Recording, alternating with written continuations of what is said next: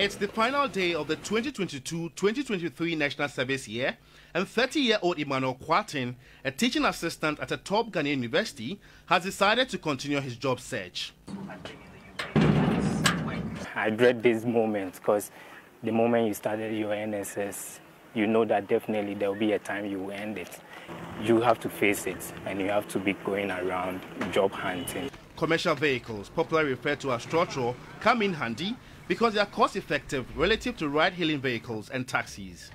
Prior to January 2023, personnel were on a 559 cedi allowance, which is currently in arrears due to the increment in allowances. He finds savings to be a nearly impossible task. Savings, I don't remember the last time I saved. Because actually, the money itself, the income is not there. You can't save.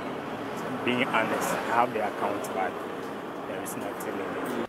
Emmanuel manages the remaining portion of allowance for food expenses. I like it to go there because when you have it, um, at the end of the day, you just only need some water and you are fine. So, and then you go by also the formation, maybe 010 or 101. Popularly, I go with the 101 and, and um, I'm fine. He's optimistic about finding a suitable job to alleviate the current financial strain. And like Emmanuel, Gideon Frimpong, a University of Ghana graduate, is not bothered about life's outcomes. I'm just relaxed. I don't really worry about anything. So stepping into the world, well, it's just like a normal day to me. He's pursuing life one step at a time, guided by the philosophy of crossing bridges when he reaches them. Let's say I'm really scared because looking at the economy right now, there is there is no jobs available in the country yet. So it looks like I'm just going back to stay home. 25-year-old James Ampofo, a graduate of Accra Technical University, is concerned about his chances of being retained at his previous educational institution.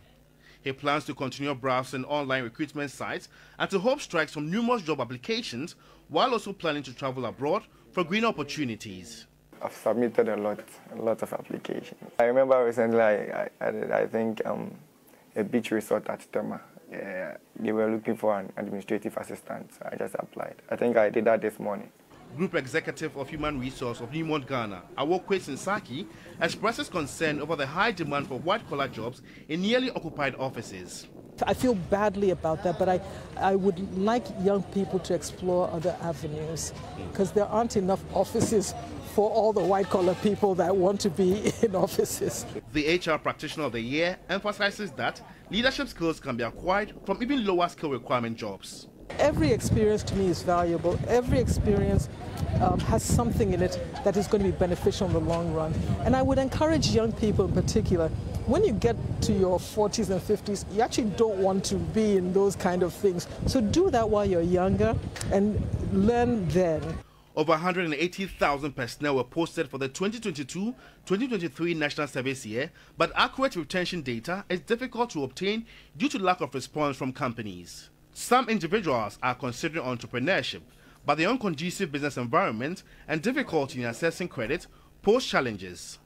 This raises questions about the government's inability to reduce business barriers and address graduate unemployment. George Kwaning, TV3 News, Accra.